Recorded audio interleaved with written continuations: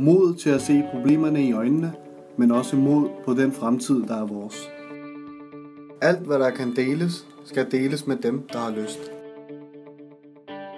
Alle skal have mulighed for at se os over skulderen, både på gode og dårlige dage. Over for opgaven, over for dem, vi står på skuldrene af, og over for dem, der kommer efter os. Uden humor, ingen kreativitet. Uden kreativitet, ingen gode idéer. Uden gode idéer, ingen skaberkraft. Uden skaberkraft, intet resultat. At sætte sig i den anden sted og se verden derfra, og derpå skabe løsninger, hvor alle vinder. Sammen kan vi gøre en forskel.